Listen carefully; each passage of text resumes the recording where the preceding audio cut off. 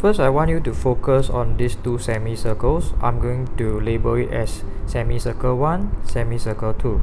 Notice that the diameter of semicircle 1 is made up of this red line as well as this green line.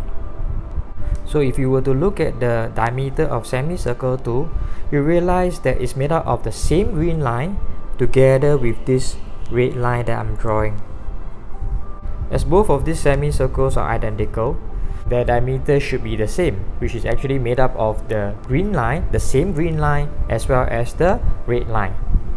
Therefore, I can conclude that the red lines are both equal in length. So if this red line is 22 cm, the red line over here should also be 22 cm. Once you can see that, we are able to find the length of the blue line here by taking 22 take away 12 which is 10 so this is 10 cm that's the first step. Knowing that these five semicircles are all identical if you look at the third semicircle that I'm going to label now its diameter is made up of 22 cm which is the red line as well as the green line. Next I'm going to label this semicircle as semicircle 4 for semicircle 4, it should also have a green line as well as a red line of length 22 cm. So once again, we are able to conclude that this line here in blue is also 10 cm if you take 22 minus 12.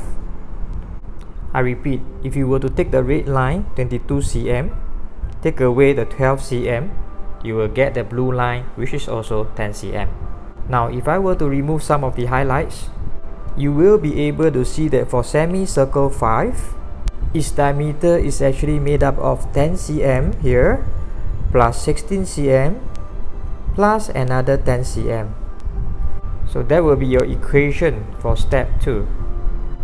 10 plus 16 plus 10, which is 36. So there we go, the diameter of the semicircle. So that was part A. Now let's move on to part B. To find the perimeter of the figure, first we have to combine the five semicircles into two and a half circles. So to find the circumference of two and a half circles, we can take two and a half times pi times d, d for diameter. Two and a half times pi, we are going to leave pi as pi first, and the diameter is 36 from part A that will give you 90 pi. For perimeter of any figure, it's always good to highlight where you have found. So I'm going to remove all those things that I've drawn earlier.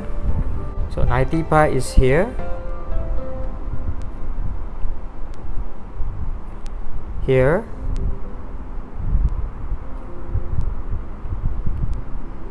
Here. Here. And here.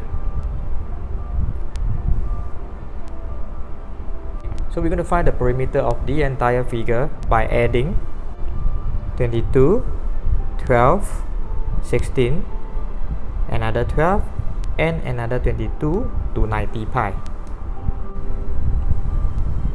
So 90 pi plus 22 plus 12 bracket times 2 because there are two sets of 12 and 22 and you add with 16 that will give you the answer.